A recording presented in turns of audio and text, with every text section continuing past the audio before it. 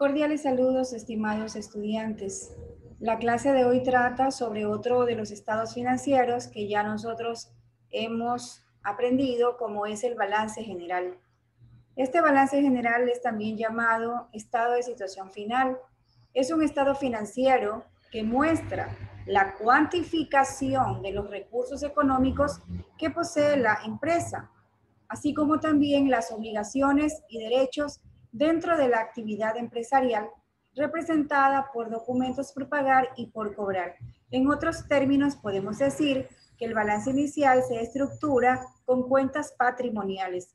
¿Cuáles son estas cuentas patrimoniales? Las cuentas de activo, las cuentas de pasivo y las cuentas de patrimonio, cada una con su respectiva subclasificación. En el caso de los activos, tenemos que se clasifican en activos corrientes, activos diferidos, activos disponibles, activos fijos. Así tenemos, pero el más conocido está con la subclasificación de activo corriente y activo no corriente. Acá dentro de las cuentas de activo corriente, pues, o de activos, tenemos la cuenta caja, bancos, documentos por cobrar, cuentas por cobrar. Dentro de los activos fijos tenemos a los vehículos, edificios, terrenos, equipos de oficina, equipos de computación, etcétera. Mientras que en los pasivos encontramos a las cuentas por pagar, documentos por pagar, sueldos por pagar y es por pagar. Todas estas cuentas forman parte del pasivo y las cuentas de patrimonio que vienen a ser las cuentas de capital, eh, utilidades, reservas. Por otro lado, este balance general tiene por finalidad describir la estructura patrimonial con sus características financieras. ¿Por qué es importante? Porque permite juzgar la capacidad y rentabilidad de la empresa, obligando a los representantes legales a tomar decisiones oportunas, a fin de precautelar el buen manejo de los recursos.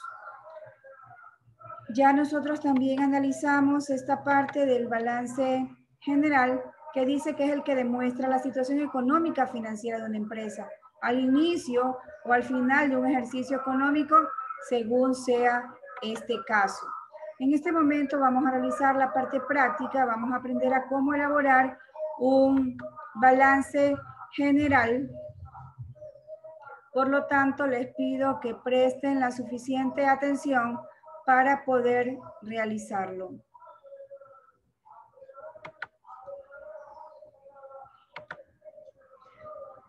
Ya nosotros conocemos que todo libro contable, en este caso todo estado financiero, también lleva su encabezamiento, el mismo que está compuesto por el nombre de la empresa o razón social, el nombre del estado financiero, que es balance general, y la fecha esta a la que se refiere este ejercicio económico. Lo vamos a elaborar pues en esta en forma horizontal, en forma de cuenta, con una T esquemática, en donde al lado izquierdo encontramos a la parte de los activos y en la parte derecha los pasivos y el patrimonio. Si ustedes recuerdan, de esta manera se estructura el balance inicial. ¿Sí?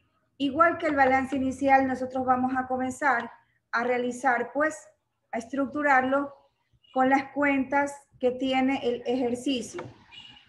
Si ustedes observan acá, me dice que con los siguientes datos debemos de elaborar el balance general de la empresa comercial Rivera, sociedad anónima, al 31 de diciembre del 2020. Tenemos el listado de cuentas con sus respectivos valores. Lo primero que nosotros debemos de hacer es clasificar a estas cuentas. Ustedes se acuerdan, era lo que hacíamos cuando nosotros íbamos a elaborar un balance inicial. Nosotros tenemos aquí la primera cuenta, cuentas por pagar pertenece a los pasivos corrientes, le vamos a identificar con PC al pasivo corriente. Hipotecas por pagar también es una cuenta de pasivos, pero pasivos no corrientes, por lo tanto le identificamos como PNC. Edificio es una cuenta de activo no corriente, activo fijo. Terreno, perdón, vehículos también es un activo no corriente, corresponde al grupo de activos fijos terreno igualmente, activo no corriente, ANC, impuestos por pagar, todo lo que es valores por pagar corresponde a la parte de los pasivos, en este caso pasivos corrientes, por eso ubico PC. Si ustedes observan aquí, el capital no tiene valor, pero esta cuenta corresponde al grupo de patrimonio. Sí, es una cuenta de patrimonio. Mientras que caja, ya bien sabemos que es activo corriente. Bancos también es una cuenta de activo corriente. Utilidad neta es una cuenta de patrimonio. Mercaderías es una cuenta de activo corriente. Equipos de computación, activo no corriente. Muebles de oficina, activo no corriente. Documentos por pagar es un pasivo corriente. Equipos de oficina, activos no corrientes. Sueldos por pagar, pasivo corriente cuentas por cobrar, activo corriente. Una vez que nosotros tenemos clasificadas las cuentas, procedemos a estructurar el balance general o estado de situación final. Ya tenemos el encabezamiento y luego vamos a distribuir las cuentas de acuerdo a su clasificación. Sabiendo que empezamos con las cuentas de activos, con el primer de este grupo que es activo corriente. Procedemos a registrar las cuentas de forma ordenada. Ustedes tienen un, un tienen ustedes el listado de las cuentas en el plan del año anterior, donde ustedes también se pueden regir para ubicar el orden de las cuentas. Por lo tanto, empezamos primeramente con la cuenta caja, que corresponde al valor de 32.200. Seguidamente ubicamos a la cuenta bancos, que también es de activo corriente, por el valor de 48 mil. Vemos si hay cuentas por cobrar. Si hay cuentas por cobrar, ubicamos a la cuenta cuentas por cobrar por el valor de 9.700. Vemos si hay otra cuenta de activo corriente. Tenemos caja, bancos en mercaderías, primero iba a mercaderías, ¿no? Aquí ubicamos mercaderías por el valor de 51 mil.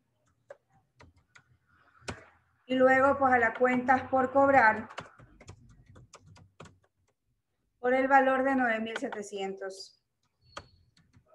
Ustedes bien saben que una vez que se termina de registrar todas las cuentas que corresponden a este grupo de activo corriente, sumamos estos valores y me ha dado un total de activo corriente de 140.900. Una vez registradas las cuentas de ese grupo, procedemos a registrar las de activos no corrientes. Dentro de los activos no corrientes, vemos que tenemos a los edificios, vehículos, terrenos, equipos de oficina. Por lo tanto, procedemos a ordenarlas de forma tal que nos queden bien ordenadas, valga la redundancia. Entonces aquí ubicamos a equipos, perdón, a muebles de oficina. Tenemos, a ver, equipos de computación, muebles de oficina. Entonces ubicamos muebles de oficina con el valor de 8.300. Luego tenemos equipos de computación por el valor de 12.000.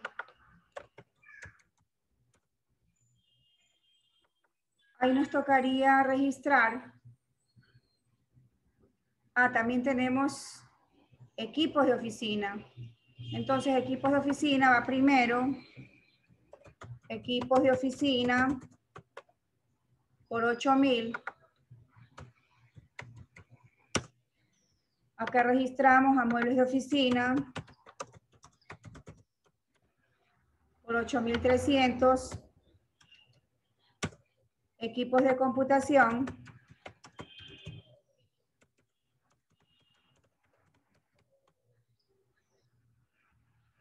Por 12.000. Después de eso ubicamos a la cuenta vehículos por 70.000.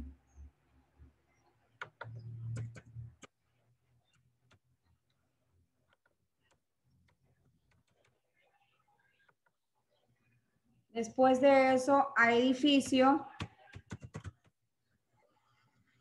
por 200 mil. Y finalmente la cuenta terrenos por 58 mil. Asimismo, se suman todos los valores de este grupo de cuentas y nos ha dado un total de activo no corriente de 356.300. Para cerrar el total de activos, lo que hacemos es sumar los valores parciales, el total de activo corriente con el total de activo no corriente y tenemos un total de 497.200. Procedemos a trabajar la parte de los pasivos, empezando por registrar las cuentas de pasivo corriente. Ya nosotros tenemos clasificado, por lo tanto empezamos. Tenemos pasivo corriente, cuentas por pagar, impuestos por pagar, documentos por pagar, sueldos por pagar. Entonces ubicamos cuentas por pagar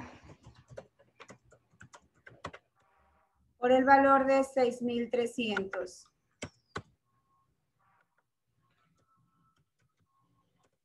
Documentos por pagar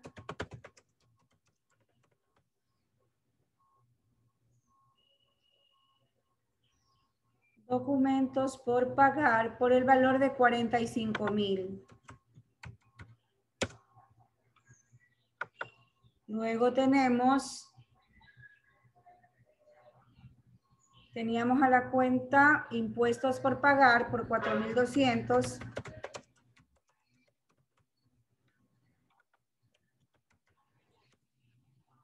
Y luego sueldos por pagar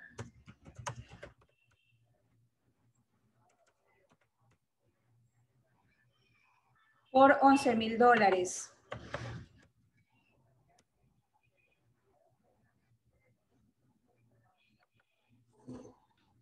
Asimismo, sumamos todos estos valores y nos ha dado un total de pasivo corriente de 66.500.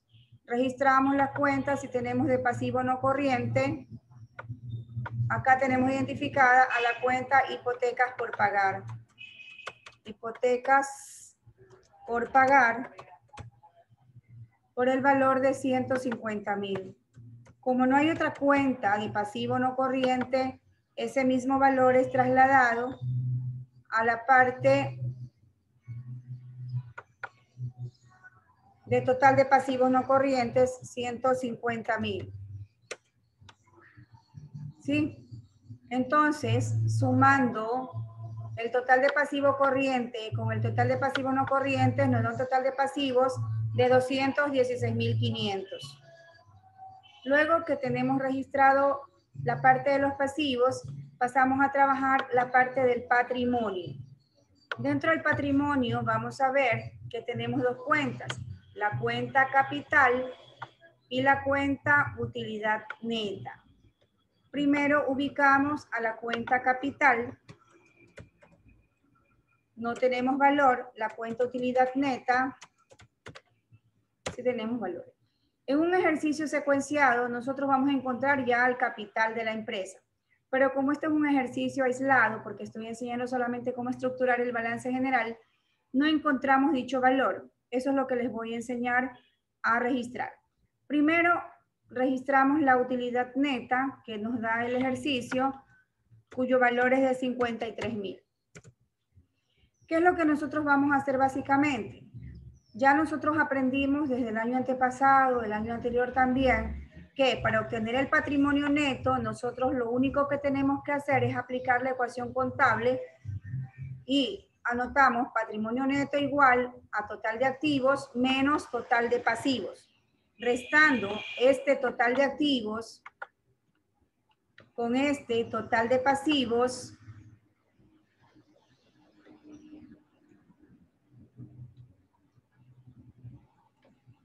nos da, aquí vamos a hacer la operación, ¿no? Patrimonio neto, neto igual, total de activos, menos total de pasivos. Esto lo hacemos muy aparte del balance general. Ya tenemos acá el total de activos es 497.200 menos el total de pasivos, que es 216.500. ¿Sí? Entonces aquí nosotros hacemos la diferencia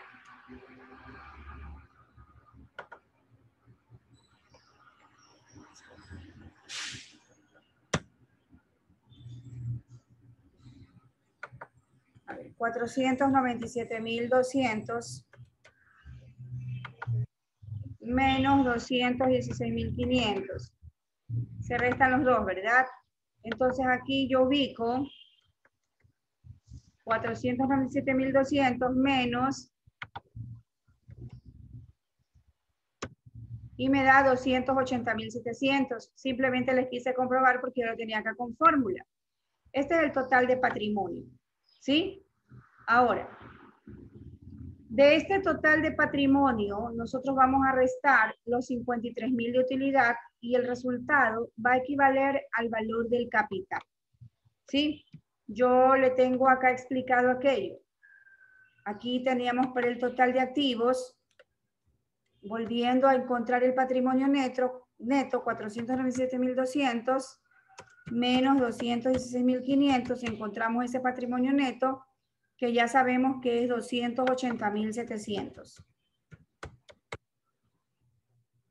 Ahora, para encontrar el valor del capital se resta el total del patrimonio con la utilidad. ¿Sí?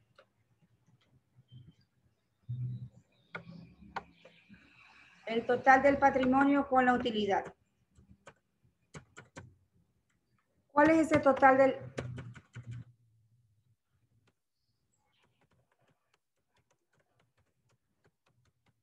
¿Cuál es el total del patrimonio?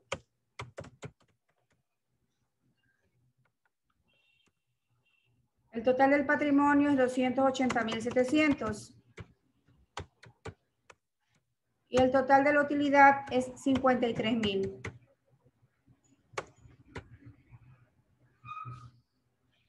Entonces, acá nos da pues, lo voy a ubicar aquí para trabajarlo con fórmula, 280.700 menos 53 mil. Es para hacer la resta nada más con fórmula, 280 mil menos 53 mil y me da 227 mil 700. Ese valor sería el capital. Lo ubico entonces donde dice capital, 227 mil 700 Y ahí he obtenido el resultado. Si ustedes observan, yo aquí le ubico total de pasivo más patrimonio. Si yo sumo este total de pasivos de 216.500 más el total de patrimonio, que es 280.700, voy a obtener 497.200. Tiene que quedarme debidamente cuadrado con el total de activos que tengo registrado acá. De esta manera estructuramos el balance general. Espero que se les haga más fácil porque ya ustedes saben cómo elaborar un balance inicial.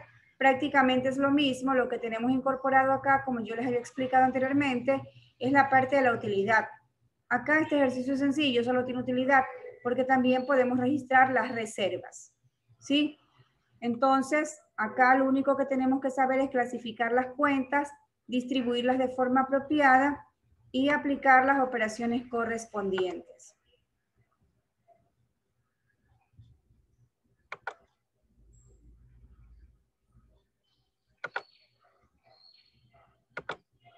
En la parte de las diapositivas, ustedes tienen ya el ejercicio realizado. El ejercicio que terminé de explicar hace un momento está debidamente estructurado. Le hice una captura de pantalla porque no me lograba estar normalmente. Luego tenemos